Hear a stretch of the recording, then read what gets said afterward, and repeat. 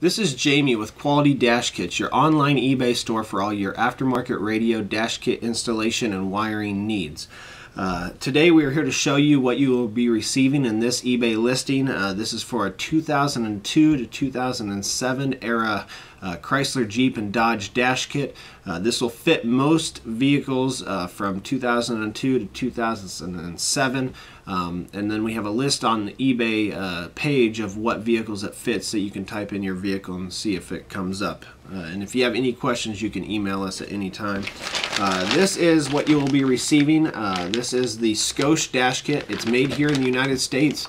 Scosche makes a very good quality dash kit. They're made out of a thicker, heavier duty plastic than a lot of other dash kits you'll see on the market. Uh, the fit and finish is really nice, so you get a clean install, an easy install. Uh, th uh, this comes in retail packaging like you see here.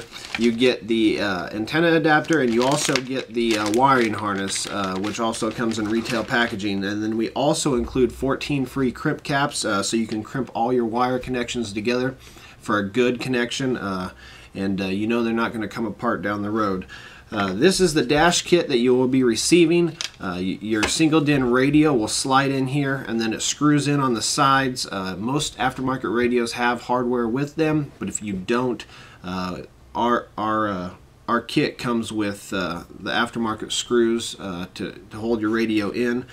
And then this is the bezel piece.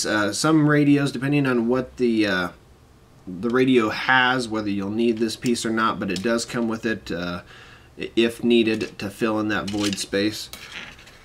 This is the antenna adapter. This plugs into uh, the Chrysler, Jeep, and Dodge uh, antenna uh, from 2002 to 2007 and gives you the aftermarket uh, standard antenna adapter to go into your aftermarket radio. Uh, you get your radio uh, wiring harness. Uh, comes with two grounds. You get four sets of speaker wires, uh, purple, white, green, and uh, gray. Uh, each one of them has a positive and a negative for each speaker, and they're all color coded.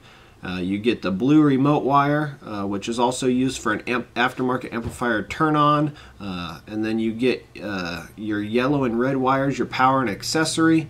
And then you also get an orange and brown wire. The orange is illumination, the brown is mute.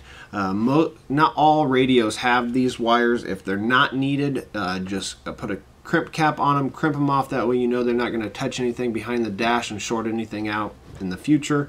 Um, it's a great way to be safe about that. Um, then uh, you uh, on the back of the the wiring harness it has all what every single wire does and the colors of it, uh, so you can match it up to uh, your aftermarket radio harness and get everything uh, together without and know that you're doing it the right way. And if you have any questions at all you can email us via the eBay message system. Uh, thanks for watching this video